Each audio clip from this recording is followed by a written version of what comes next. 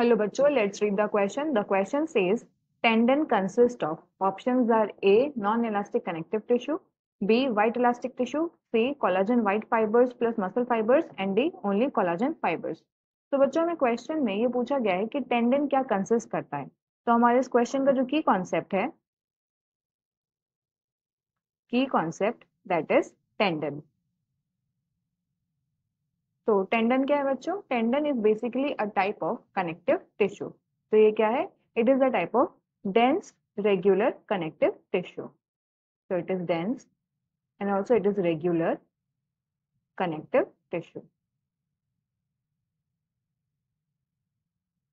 now अब अगर हम बात करें कि ये टेंडन बना किससे है तो it is made up of modified white fibrous tissue so it is made up of modified modified white fibrous tissue. Now, इसे फाइब्रस क्यों बोला है बच्चों, इसे फाइब्रस इसलिए बोला है because it consist of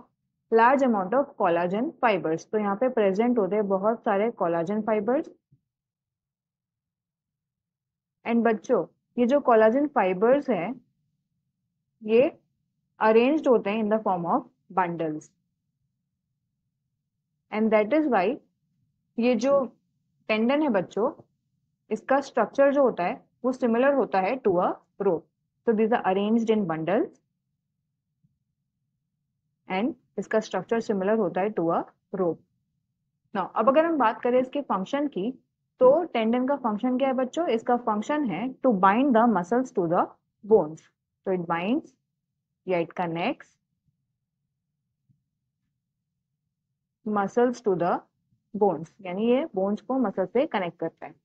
now अब अगर हम बात करें हमारे क्वेश्चन की तो क्वेश्चन में हमसे ये पूछा गया है कि टेंडन क्या कंसिस्ट करता है? तो हमने देखा कि टेंडन जो है वो कंसिस्ट करता है कोलाजन फाइबर्स यानी कि बच्चों, जो हमारा करेक्ट आंसर है that is option D that is only collagen fibres